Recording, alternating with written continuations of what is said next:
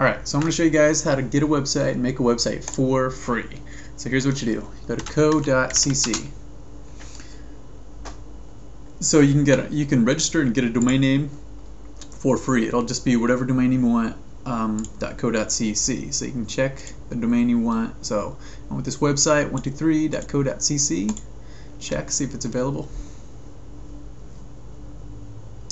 Alright, so www.iwantthiswebsite123.co.cc is available. So you click on continue to registration.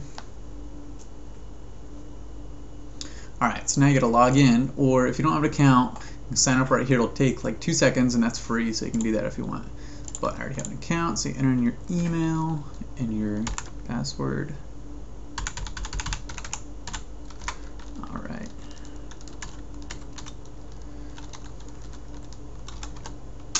And click sign in or hit enter.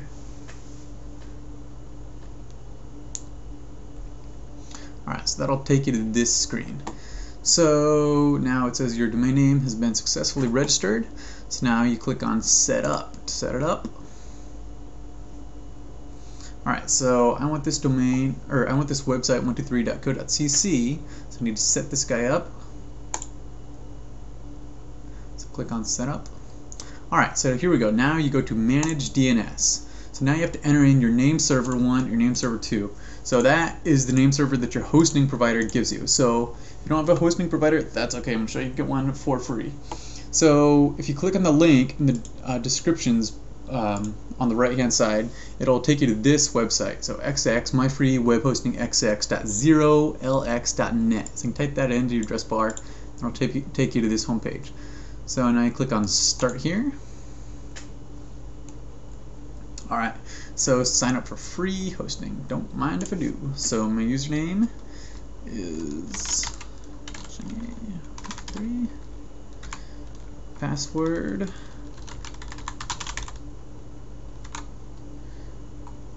Email address. Okay. Click some of those.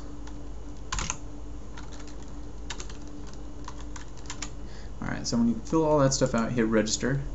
then you gotta click on this. And make sure you're not a bot one more time. Type in this stuff.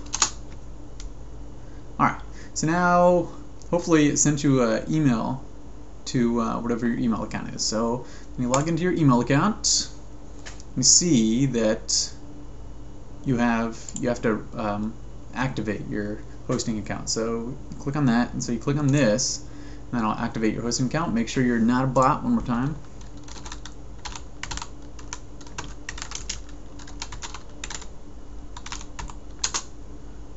Alright, continue. Alright, so sweet. So now we have a hosting account. It's been created, and that is awesome. So, to log into your hosting account, you gotta um, copy this to your Uh, address bar here. This is your cPanel that you can log in with. And then, whoops, whoops, oh, here it is. And then, so your username is this.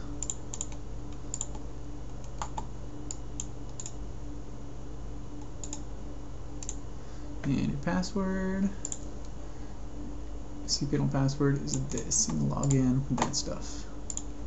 Alright, so copy all that stuff, hit login. Nice. So now we have power of cPanel, which is awesome. Alright, so now we want to add a domain name. Alright, so we want to add that domain name that we registered from co.cc. So add on domain. Alright, so right now all we have is a subdomain, which is blah blah blah blah blah dot xx my free web hosting xx dot blah blah blah. So we don't want that. We want our co.cc um, domain name. So that was what was that? Oh yeah, I want this website 123.co.cc.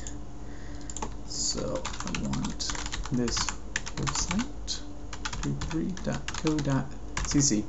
All right, so create domain name.